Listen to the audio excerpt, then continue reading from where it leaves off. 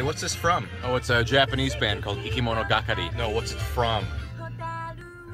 Naruto.